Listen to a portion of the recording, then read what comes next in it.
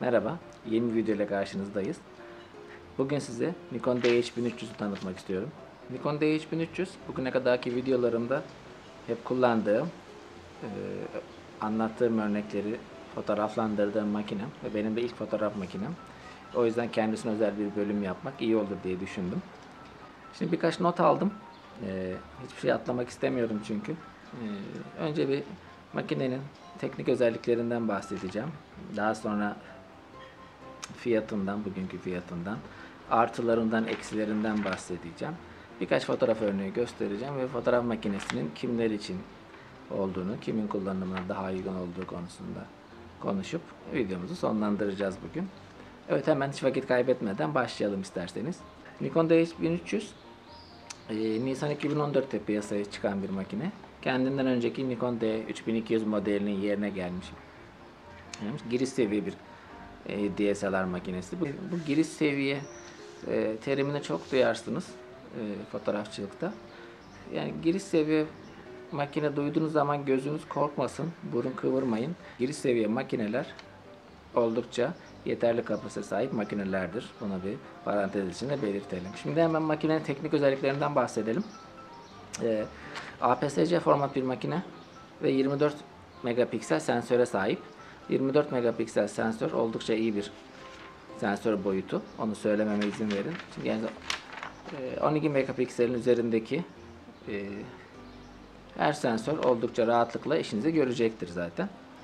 E, ISO'su 1100 temel ISO ve 12800'e kadar çıkartılabiliyor.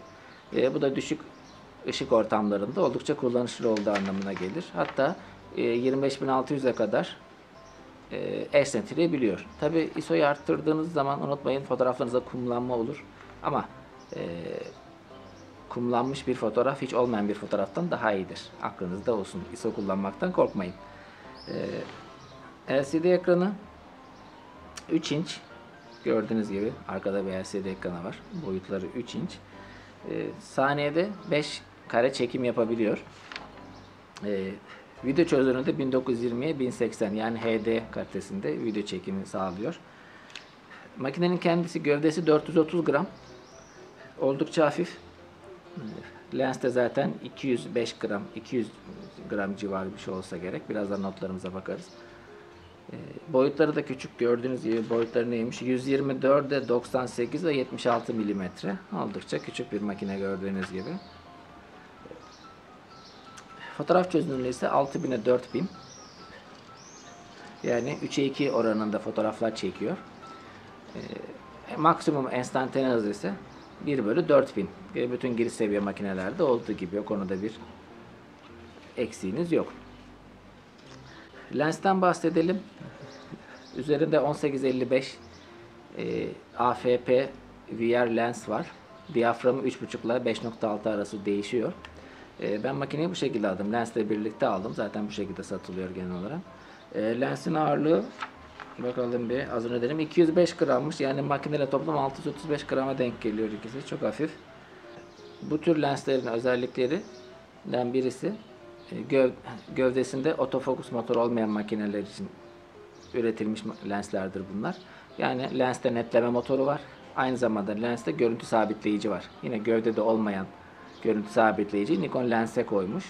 O yüzden ve 18 mm ile 55 mm arasındaki değişken bir uzak aralığına, aralığına sahip oldukça kullanışlı. Hem geniş açı hem de kısa telefoto lensiniz oluyor bunu aldığınız zaman.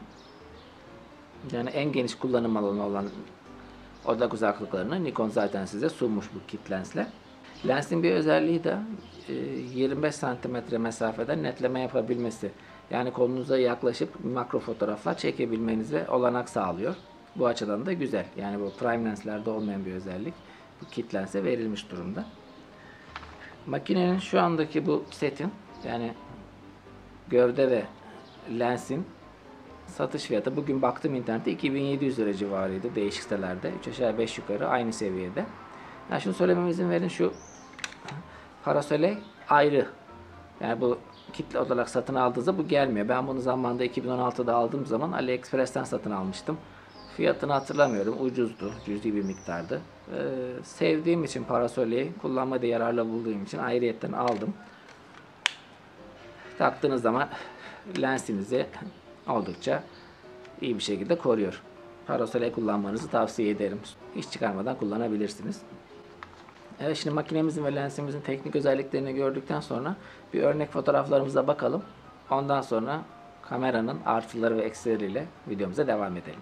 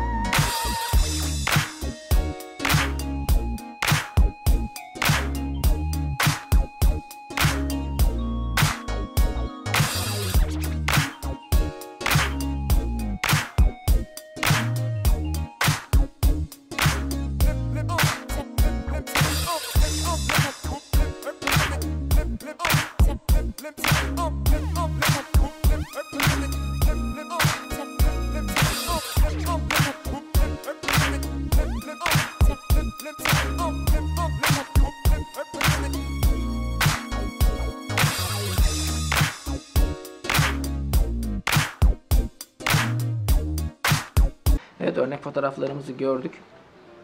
Ee, hoşunuza gittiğini umarım. Onlar makineyi aldığımdan beri, 2016 yılından beri e, çekmiş olduğum fotoğraflardan bazıları. Gördüğünüz gibi fotoğraf kalitesi açısından hiçbir korkunuz olmasın. Oldukça kaliteli fotoğraflar çekmenize olanak veren bir makine. Ee, Nikon'un zaten renkleri ünlüdür. Yani direkt makineden JPEG formatına çektiğiniz fotoğrafların bile renkleri oldukça güzel. Göze hoş gelen renklerdir. Şimdi makinenin artıları ve eksilerinden de bahsedelim biraz tabii ki. Hemen artılarla başlayalım. Video çözünürlüğü e, 4K olmasa da 1080p'de 24 fps, 30 fps, 50 ve 60 fps'de video çekmenize olanak veriyor. Bu da oldukça yeterli şu an için. E, LCD ekranı kullanırsanız yani vizör optik vizör olduğu için vizörde bu özellik yok ama LCD ekranda yüz tanımlama var. Yani e, yüz gördüğü zaman direkt yüze odaklanıyor ve onu takip etmeye başlıyor. Fotoğraflarda ve videolarınızda da kullanabileceğiniz bir yararlı bir özellik. E, 24 megapiksel sensör olduğundan bahsetmiştik. Oldukça iyi bir megapikseli var.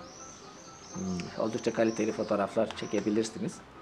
ISO'su 12800'e kadar çıkıyor. Hatta boost yaparak 25600'e kadar çıkartabiliyorsunuz. Düşük ısılar, düşük e, düşük ışık varsa çektiğiniz ortamda oldukça kullanışlı. Dediğim gibi kumlanmış bir fotoğraf hiç olmayan bir fotoğraftan daha iyidir. E, DSLR bir makine olduğu için pil ömrü oldukça uzun.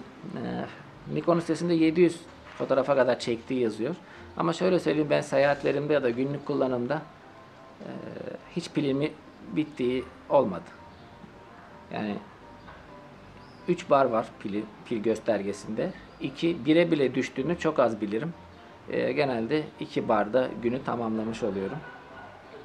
Pil ömrü açısından oldukça iyi. DSL, bütün DSLR makinelerde olduğu gibi. Gördüğünüz gibi makinenin kendisi e, profesyonel makinelere göre oldukça ufak, hafif, cebinize sığmasa bile yani oldukça rahat taşınabileceğiniz, böyle elinizde götürünüz, boyunuzda taşıyabileceğiniz ağırlık yapmayacak bir makine. Günlük kullanım için oldukça uygun.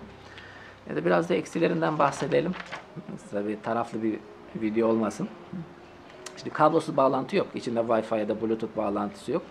O yüzden çektiğim şey, çekmiş olduğunuz fotoğrafları bilgisayarınızda eski usulle alıyorsunuz. SD kartı çıkarıp bilgisayarınıza takmanız gerekiyor.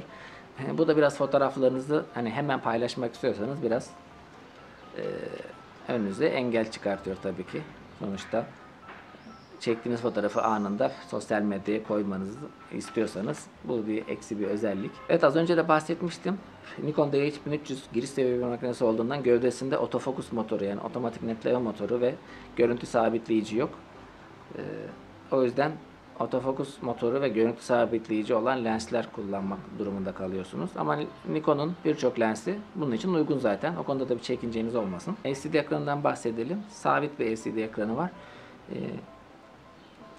tilt screen'i yok. Yani böyle ekranı kaldırıp indiremiyorsunuz. Ya tamamen yana açamıyorsunuz. Selfie modda kullanamıyorsunuz. Böyle yana açayım kendimi göreyim. Olayı yok.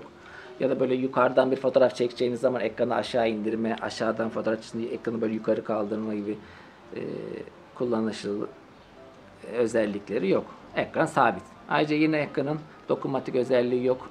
Cep telefonundan gelenler için ekrana dokun, dokunarak işlemlerinizi yapamayacaksınız. E, weather sealing yok yani hava şartlarına dayanıklı değil. Yani bu demek olmasın ki dışarıya çıkardığınızda bozulacak. Tabii ki böyle bir şey yok. Ama yağmurda kullanmayın. Yani yağmurda ıslanmayın. Makine ıslanmasın. Onun dışında içine toz girdiğini görmedim. Açıkçası açık havada lensi rüzgarlı havada lensi değiştirmediğiniz ya da hiç böyle sürece içine kolay kolay toz girmez. Lensi değiştireceğiniz zaman da şöyle aşağı doğru eğip lensi çıkartırsanız makinenin içine toz girme olayını oldukça engelleyebilirsiniz. Ama dediğim gibi yağmurda kullanmayın ya da kullanacaksanız da bir poşete sarın önü açık kalacak şekilde. O şekilde de kullanabilirsiniz. Evet benim için makinenin en eksi özelliklerinden bir tanesi yalnızca 11 tane netleme noktasının olması. Bunlardan yalnızca ortadaki bir tane nokta cross type özelliğine sahip yani en hassas. 11 tane netleme noktası aslında birçok fotoğrafçılık alanı için yeterli. Ama portre fotoğrafçılığına geldiğimiz zaman sizi oldukça kısıtlıyor. Ne açıdan kısıtlıyor? Kompozisyon oluşturma konusunda kısıtlıyor. Çünkü modelinizin e, netlediğiniz zaman biliyorsunuz portre fotoğrafçılığında daha önce de bahsetmiştik. Gözünü netleriz. Gözünle, gözlerin net olmasını isteriz. Bu 11 netleme noktasından bir tanesini bu durumda e, göz, modelimizin gözünün üzerine getirmemiz gerekir ki net olsun. Ama bu durumda da tabii ki istediğiniz kompozisyonu oluşturmanızda önüne bir engel çıkartıyor. E, ama değil portre fotoğrafçılığı dışındaki bütün fotoğrafçılık alanlarında oldukça kullanışlıdır. Portre kullanabilir misiniz? Elbette kullanırsınız. Yalnız dediğim gibi kompozisyon açısından sizi biraz kısıtlıyor. Evet makinenin teknik özelliklerinden, artılarından ve eksilerinden bahsettik. Ee, örnek fotoğrafları da gördük. Peki, peki bu fotoğraf makinesi kimin için?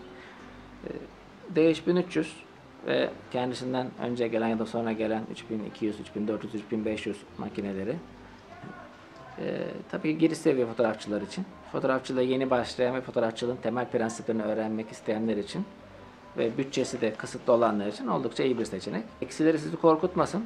Fotoğrafçılığı, ben tamamen fotoğrafçılığı bu makinede öğrendim. Fotoğrafçılıkla ilgili bildiğim her şeyi. O yüzden siz de artık fotoğrafçılıkla ilgili kendinizi geliştirmek istiyorsanız, cep telefonu güvenli alanından çıkmak istiyorsanız, e, Nikon'un 3000 serisine, 5000 serisine bakabilirsiniz.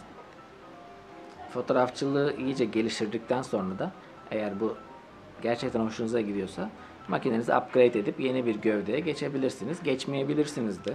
Dediğim gibi yeni bir gövdeye e, yeni bir gövdeye geçmenin bence tek mantıklı açıklaması önceki fotoğraf makinenizin ya bozulması ya da artık sizin gelişmiş yeteneklerinizin gerisinde kalması ve sizi kısıtlamasıdır.